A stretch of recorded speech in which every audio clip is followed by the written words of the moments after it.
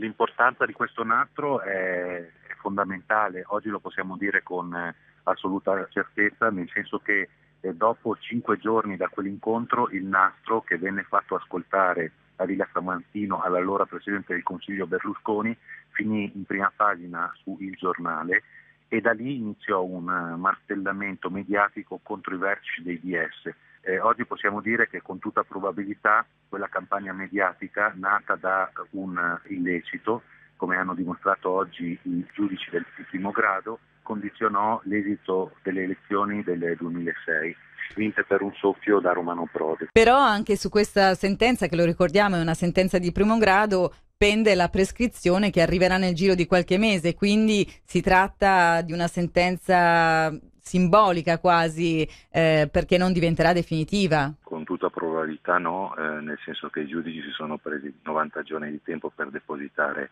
le motivazioni e da quel momento lì gli avvocati potranno impugnare in appello eh, tenendo presente che a settembre questo caso, su questo caso cadrà la prescrizione. Una sentenza simbolica è importante perché dimostra un fatto e nello stesso tempo, eh, come spiegato anche in sentenza, la parte civile Fassino ha la possibilità comunque di rivalersi in sede civile per il danno che gli è stato provocato da questo brutto affare. Insomma. Un anno a Silvio Berlusconi, due anni e tre mesi al fratello e 80.000 euro da risarcire a Fassino. Eh, l'avvocato di Berlusconi Longo parla di condanna sorprendente perché dice non c'erano e non ci sono le prove. Evidentemente eh, i giudici hanno stabilito che le prove ci sono. Eh, le prove eh, sono si sono formate nelle, nell'inchiesta e sono state ripetute in dibattimento soprattutto dal testimone chiave di questa vicenda, vale a dire da colui che ha offerto il nastro a Paolo Berlusconi, vale a dire il faccendiere Fabrizio Favata. È stato lui che ha portato l'allora numero uno di questa società di intercettazioni, la RCS, Raffaelli da Paolo Berlusconi e poi tutti e tre sono stati ricevuti dall'allora Presidente del Consiglio nella sua residenza. Quindi le prove del fatto che quel nastro sia stato fatto ascoltare a Silvio Berlusconi